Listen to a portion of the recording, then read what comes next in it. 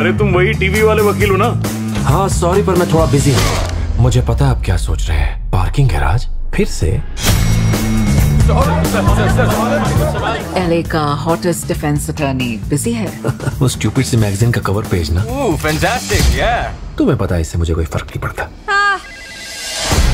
पिछले हफ़्ते में ही आप कितने इंटरव्यूज़ पर गए हैं? कुछ नहीं होगा। मैं फेम को अपने सर पर नहीं चढ़ने दूँगा ओके लीसा मिकी हॉलर मेरा घर यहीं पर है। नो कमेंट्स यहाँ पर एक प्रॉब्लम हो गई है। कितना सारा पेपर वर्क बाकी है। राइट अब हम सब आ ही गए हैं तो क्या हम शुरू करें? आज हमें बहुत काम करना होगा। मैं डे नाइट काम करती रही तो ग्लूकोज की बोतल के साथ शादी में जाना होगा। निकी एड्रेस भेज दो मुझे। हे मिकी मुझे तुम्हारी हेल्प चाहिए। एक प्रॉब्लम हो गई है। इसी बात की तो परेशानी है। आई एम रियली सॉरी मैं फिर से तुम्हारा ब्रिलियंट दिमाग खा रही हूँ। मुझमें सिर्फ़ वही अच्छा है। तुम्हें और क्या क्या अच्छा है मैं तुम्हें बाद में बता सकती हूँ।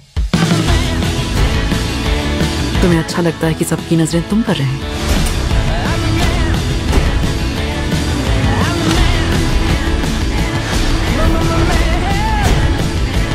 हेलो? मिकी मैं लीसा मुझे पुलिस ने अरेस्ट कर लिया है। तो अब तुम उसके वकील हो। लेट मी गेस फ्री में। क्योंकि तुम उसका केक बेक कर रहे हो हुस्न डीप फ्राई कर रहे हो उसके सूप में डूबी जा रहे हो। ओके okay, मेरे पास फालतू टाइम नहीं है।